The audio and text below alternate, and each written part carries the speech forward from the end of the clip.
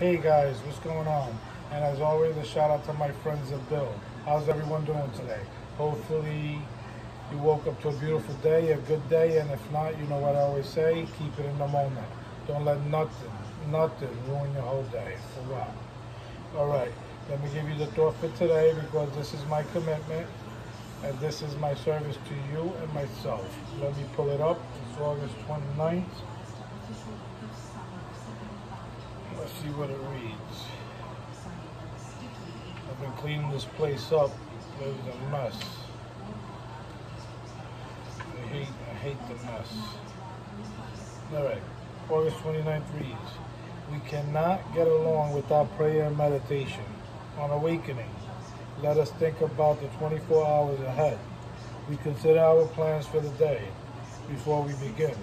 We ask God to direct our thinking, our thoughts, our thought lives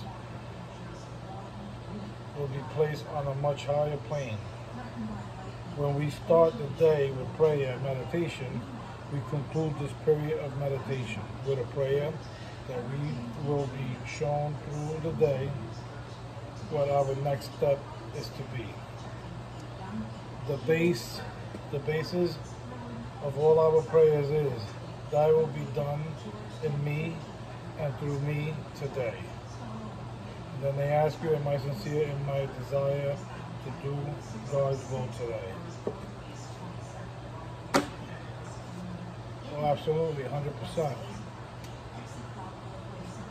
I do the best, the best I could.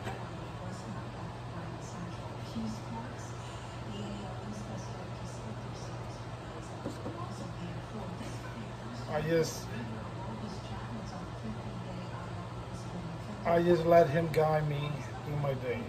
And that's it. And it all starts early in the morning before I leave my house. As soon as I get out of bed, I get on my knees. It's the first thing I do.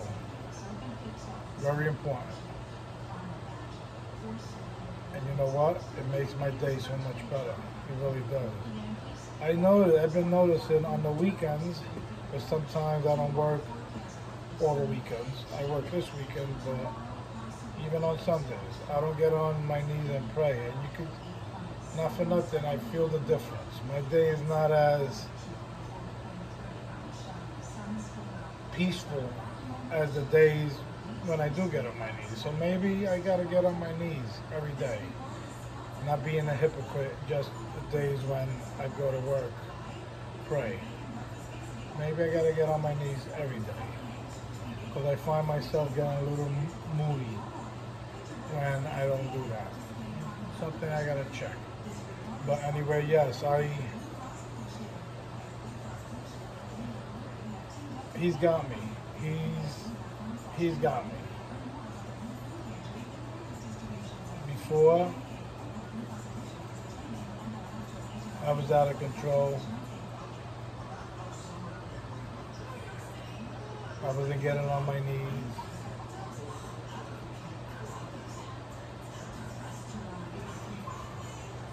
He's got me. Thank you guys. Thank you for letting me share on that. And God willing, I'll see you guys tomorrow. God bless see you.